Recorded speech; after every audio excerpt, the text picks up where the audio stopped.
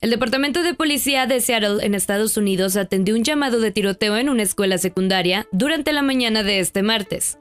Las autoridades lograron asegurar el centro educativo. Sin embargo, el sospechoso escapó y aún lo están buscando. Hasta el momento se desconoce si se reportaron víctimas.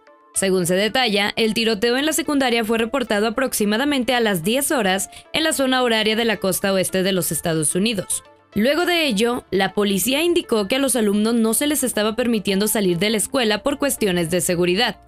Las autoridades también hicieron un llamado a los ciudadanos a evitar por completo esa zona y a que no transiten por ahí en caso de no ser sumamente necesario.